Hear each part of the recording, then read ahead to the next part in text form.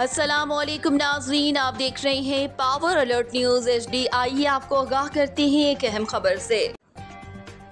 Javeria Sargodha patrolling police Sargodha ने माह जुलाई के पहले पंद्रह दिन की कार्रवाई। एसपी पेट्रोलिंग मलिक अख्तर हुसैन जुया और डीएसपी का पेट्रोलिंग नवीद मुर्तजा चीमा की हिदायत पर अमल करते हुए रवामा। पेट्रोलिंग पुलिस सरगोदा ने कार्रवाई करते हुए नाकिस सिलेंडरों वाली गाड़ियों के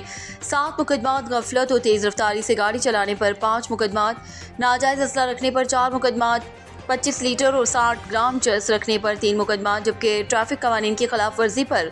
पच्चीस सौ छिहत्तर अफराद का चालान, कम उम्र बच्चों और हेलमेट इस्तेमाल न करने पर दो हज़ार नौ सौ चौरानवे मोटरसाइकिल बंद कर दिए। मजीद